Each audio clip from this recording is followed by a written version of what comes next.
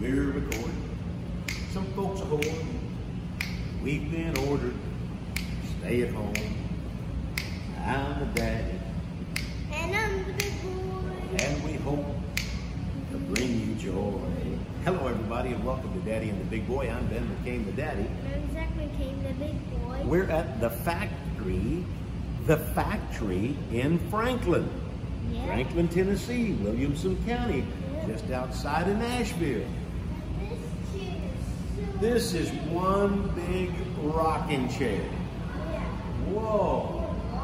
It's not, well, it's not, you, you don't rock it. I don't think you rock this chair. It's a stationary rocking chair, but it is huge. The factory, it's my understanding, 20 years ago, a fella bought the factory. It was an old factory. They made stoves and all sorts of things for a $100,000. And I understand, I think it was a couple of years ago, he sold it for $20 million. It's kind of like an anti-mall. It's got all these stores in here, coffee shops, and just real cool places. Yeah. And a, and a huge, and, and a huge rocking chair. Yeah. You like it? And we just seen one side of it, and when we saw this huge rocking chair, we thought this might be a good spot to do a daddy and the big boy. And it's even bigger than us. it's, it's, it's uh, it is huge. it is ginormous. Enormous. well, we hope you've been enjoying uh, our trip to Tennessee. We just got word that the, the governor of California has shut down almost everything again in the state of California to stop the spread of the coronavirus.